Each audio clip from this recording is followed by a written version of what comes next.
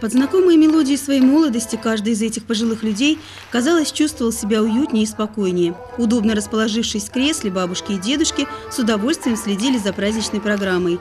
И не только следили, многие просто не могли удержаться на своих местах, многие сами шли в пляс. А как же не поплясать, ведь душа еще молода, несмотря на возраст. Со словами благодарности к старшему поколению обратился глава района Александр Садчиков. Город Лабинск, он построил многими из вас. И сегодня его краски, его люди, его целостность, и правда, и неправда, и все доброе и плохое, это все наша с вами жизнь сегодня. Но главное то, что этот город сохранен. Сохранены люди, сохранены традиции, сохранены обычаи этого города.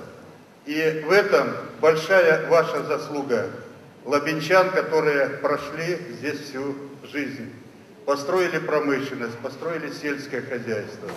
Бог наградил мудростью, пониманием всего того, что происходит, и за это вам низкий поклон и спасибо.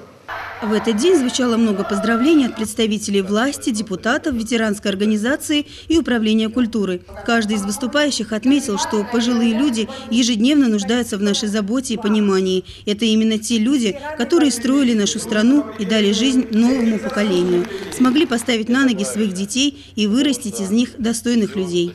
Музыки было сегодня много, она создавала особо праздничное настроение. Под нее не только пели, но и танцевали. Музыкальные коллективы под бурные аплодисменты радовали гостей знакомыми мелодиями и переносили их на много десятков лет назад. Каждый мог снова почувствовать себя молодым.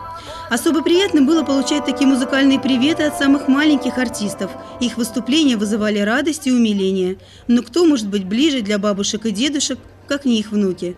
Им они посвящают все свое время и нежность. Судя по песне, внучата это оценили. Без бабушки, без